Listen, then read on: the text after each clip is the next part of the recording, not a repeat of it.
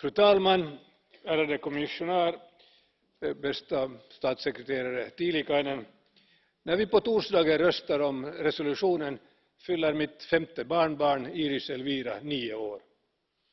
Jag är alltså skyldig av mina sex barnbarn någonting för de kommande årtiondena. Av den orsaken när vi diskuterar målsättningarna mellan oss så var det ganska lätt att säga att vi håller fast vid 55 procent. Det är den minsta vi kan göra för våra, de kommande generationerna. Det kommer också att ställa medlemsländerna inför allvarliga utmaningar. Vi vet att den, den nyckel som fanns till exempel för, för fördelningen av bördan den ställde hårdare krav på Finland än på Bulgarien. När vi höjer målsättningen så kommer den målsättningen också att höjas för alla. Det är alltså kring 55 procent vi nu kämpar och det är den målsättningen vi måste hålla fast vid. Sen vill jag avsluta med att tacka kommissionär Kanjete för gott samarbete under de fem åren och så hoppas jag att det finska ordförandeskapet också räddar mina barnbarn. Tack!